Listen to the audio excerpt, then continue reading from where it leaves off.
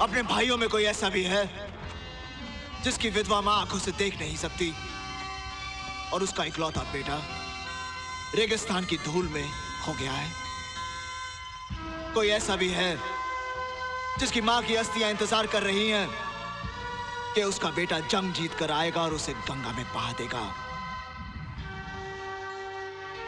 किसी का बूढ़ा बाप अपनी ज़िंदगी की आखिरी घड़ियाँ गिन रहा है।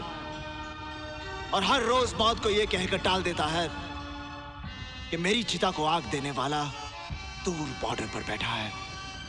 अगर इन सबने अपनी प्रॉब्लम्स का बहाना देकर छुट्टी ले ली तो ये जंग कैसे जीती जाएगी? बता ऐसा जंग कितना जीता गया